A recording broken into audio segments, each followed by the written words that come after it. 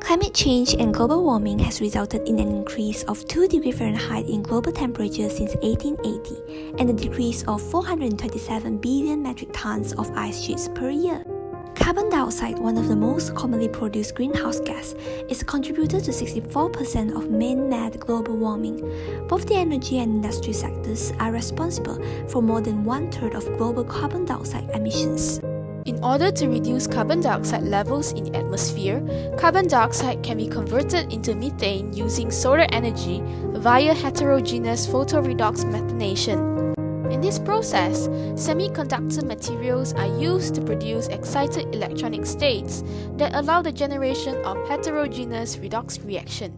When an electron from the valence band of a semiconductor is excited by a photon which has high energy, it moves into the conduction band to initiate the oxidation of water molecules to oxygen molecule and hydrogen ions.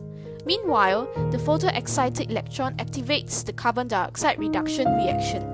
There are several qualities of photoredox methanation that make it advantageous for commercialization. First of all, photoredox systems require moderate pressure and temperature conditions. Thus, the process is environmentally friendly. Solar energy is the source of energy for this reaction, which is a clean form of energy that does not pollute the environment. Photoredox methanation is also a carbon dioxide capture process which may contribute to the reduction of carbon dioxide in the atmosphere and solve issues due to global warming. Besides that, the methane produced in this reaction can act as a direct substitute for fossil methane since it has the same composition. In this process, the costs for the production and storage of hydrogen are avoided because hydrogen gas is not involved in the reaction, thus increasing the economic viability of industrial carbon dioxide methanation. Compared with hydrogen, methane can also be stored and transported more safely because it liquefies easily.